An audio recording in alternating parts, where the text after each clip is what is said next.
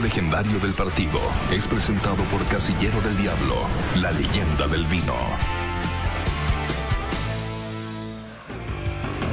Ahí está, estaba al servicio Carballés Baena.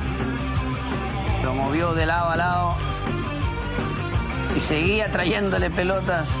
Eh, Cerúndolo, pero con un smash lo venció.